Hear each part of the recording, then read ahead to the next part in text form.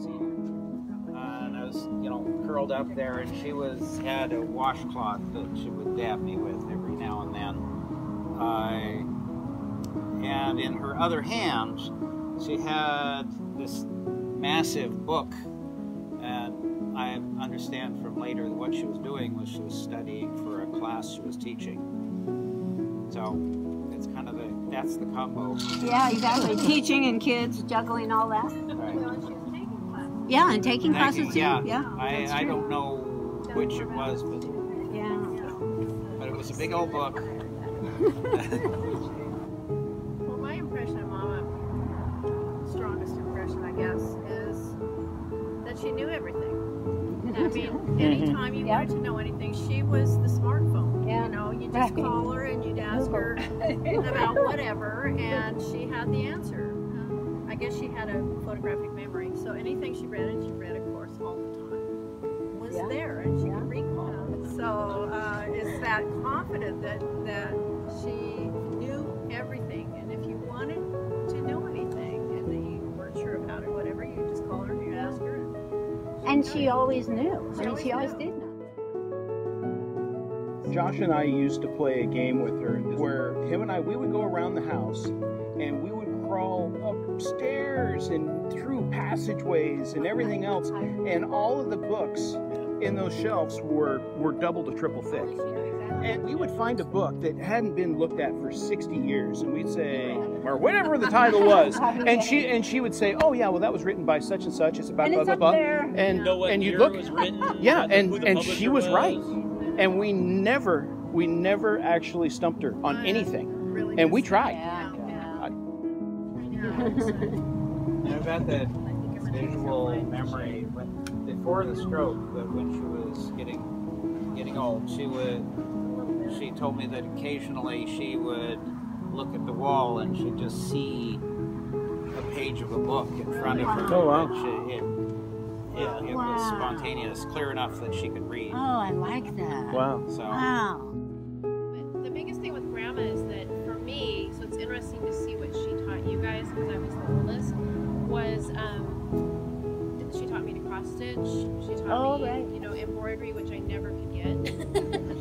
The but I got cross stitch really really good and crocheting and knitting. And her needlepoint always just blew me away, but I could never figure that out. Like it never was a natural thing for me. So that's what I remember. It wasn't cooking. It wasn't. I mean, I remember more of the cooking with grandpa for me, and that was. I mean, she would be cooking when I do remember in the kitchen and explaining how she would dissect that worm that's right there. and I never thought that was gross. I never thought No. that was weird Right. because everything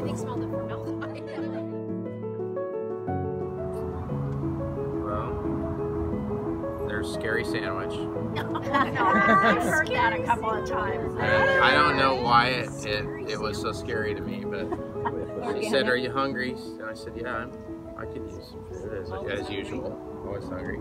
She knew that about me. And she went back to the to the kitchen, which was more like a laboratory to me because there was there was scary, scary, scary big creatures that I'd never seen before. And if I ever found digging it up, I'd probably run the other way. It's not really a mayonnaise jar; it's like a jar Yeah. you'd cans Candy with, jar.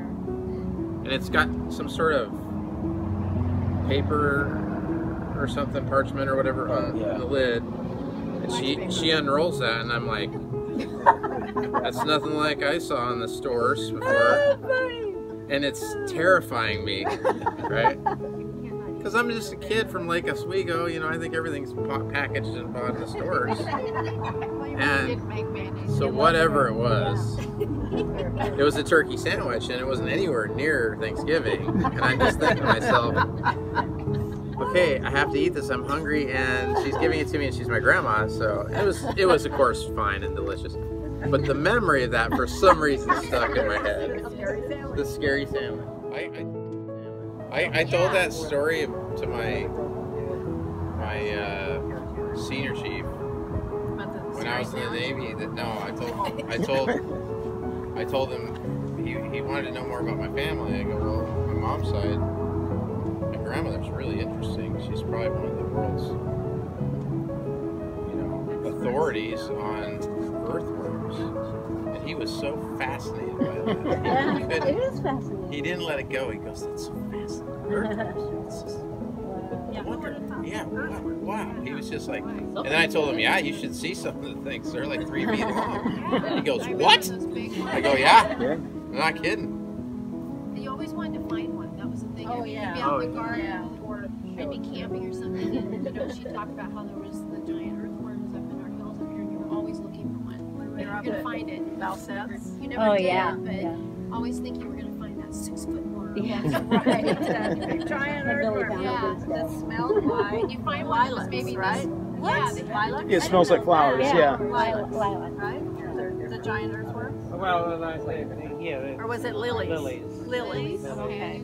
Uh, Oh, I thought it. Yeah. kind of very flowery. Right. Yeah, flowery. And, you know, Wow. some, some, sometimes flowery good, sometimes flowery bad. Yeah, But the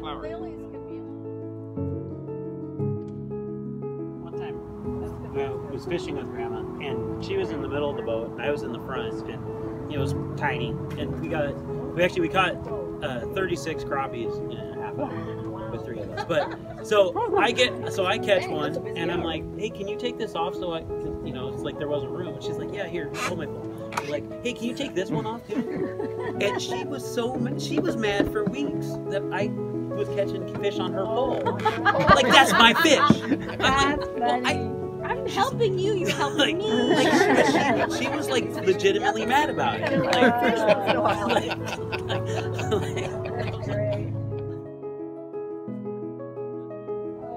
I did have a really interesting thing happen to me the night she died. I dreamt of her. yeah. I had a, I had a. It wasn't like she visited me. Um, it was just the thought of this book I had as a kid that sh that I'd gotten out of her library. It was probably, probably be mad at me right now for losing, it, but some other kid stole it from me because it was so cool. It was just a calligraphy book and it had all these Oh, artsy calligraphy stuff. I remember that. Yeah. It's a cool book. It was a really cool book, and I and I, I thought I thought I'm gonna ask Grandma. She'll know what the name of the book is because I was actually looking it up as I was going to sleep or something, like trying to find it. And oh, I'll just ask Grandma, and then she I find it. She's dead. Yeah. I'll never know now. yeah. But Just Oh, yeah. I don't know. It was really just fun. It was fun to That's see her nice. every week. I got to see her every every I think two or three times a week. I'd I remember. I'd forgotten out. about It that. was Yeah, nice. that is Yeah. nice. And so yeah, that was kind of my time. I feel like I got to know her. Yeah. Like uh, young young adult too. These My grandma.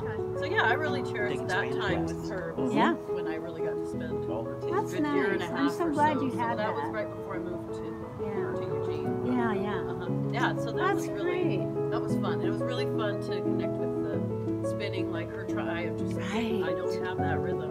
Who does? I does? was trying. and She'd laugh. Like, can I just cart something? I'm Right. really Sure. Yeah, we can do Or that. Wrap Yeah. something. I'm really good at that. I did get the needle point down a bit. I was pretty. I did that pretty good. Yeah, Um, I do have So a I cherished item doing uh, yeah.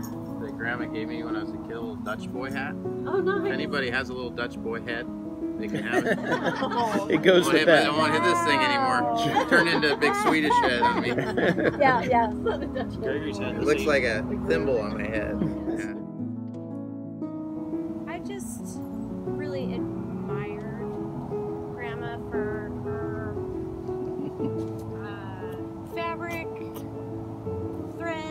Oh, yeah. art, Yeah. drawing. Like she just was a very creative person, along with being uh, into biology, which I am, and uh,